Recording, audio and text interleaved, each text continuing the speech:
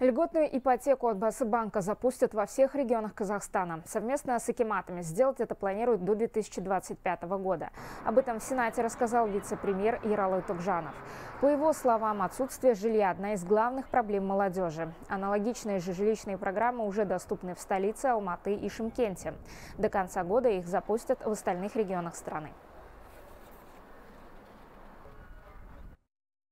В национальном проекте «Алток Рухани Жангру» предусмотрено введение 25% квоты для молодых семей в рамках всех программ жилищного строительства.